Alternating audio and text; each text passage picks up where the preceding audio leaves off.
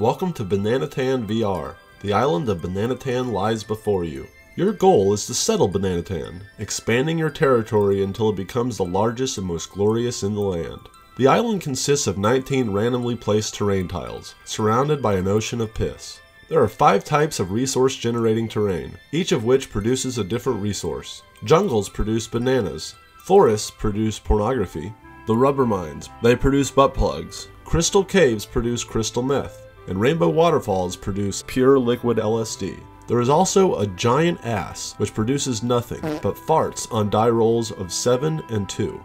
Now, if an 8 is rolled, all terrain tiles with an 8 produce resources. In the example on screen, the player would receive one crystal meth card from their crystal caves, and one LSD card from the rainbow waterfalls. This combination means they receive the I am really high marker, worth 2 super deduper points. However, if another player gets higher than this player, then they take the I am really high marker. How high a player is can be seen above their avatar. On your turn, you can do the following. Roll a 47 sided dice for resource production. Trade resource cards with other players and the bank.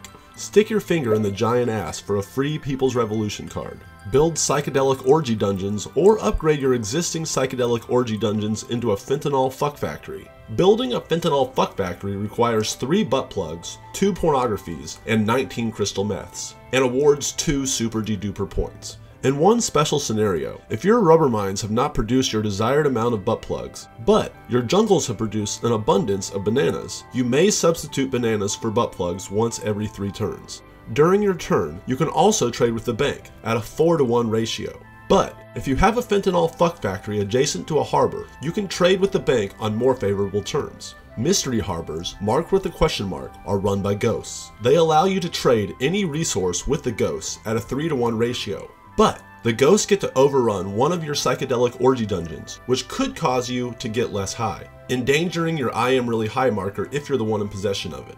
On a dice roll of 7, no resources are generated. The Queefer prevents it. The player who rolled the 7 then places the Queefer in a new terrain tile. If the Queefer is placed adjacent to multiple players, the person placing the Queefer chooses who gets queefed on. The working poor of Bananatan have been trying to stage a violent uprising for some time now, there are five types of People's Revolution cards in Bananatan. The Dirt Bike City Baby card gives you two free dirt bike trails to place on the board. Playing a Queef Slayer card allows you to silence the dreaded Queefer, moving her to a new terrain tile just like rolling a 7. And finally, each Super Deduper point card adds one Super Deduper point to your Super Deduper point total. If you have 10 or more Super Deduper points at any point during your turn, you win the game. Congratulations, you are now familiar with the rules of Bananatan.